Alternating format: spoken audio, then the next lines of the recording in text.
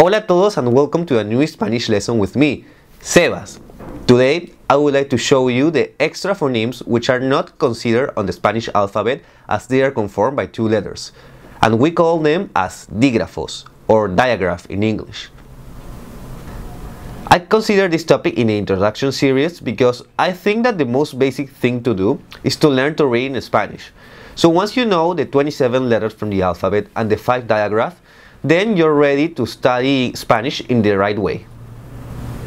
So I guess that you have already seen my last video about the Spanish alphabet. For this video, the dynamic will be basically the same. I will show you the 5 digraph, tell you an example, and finally a short explanation. Comencemos.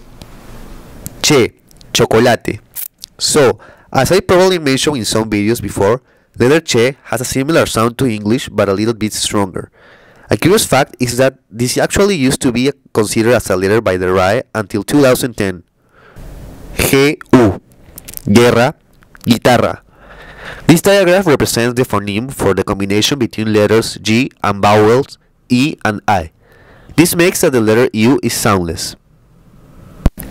Q-U, queso, quinto. This basically has the same rules from the previous digraph.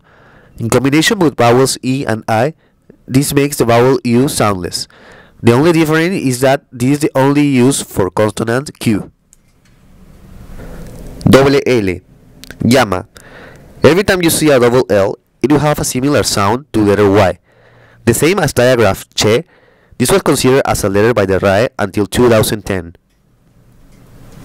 Double R, torre. This digraph has the same sound as the consonant R before vowels. As you see, it's much stronger than the other sound from letter R. Notice that there are no words which start with a double R. Felicidades! Today you have learned about the Spanish digraph. I will have to say that once you know this and the Spanish alphabet, you are ready to read in Spanish with a good pronunciation. Now I have a news for you guys. I have opened a Facebook account and I will be uploading some amazing material so you can keep learning when you scroll on your mobile. I will put the link on the description below.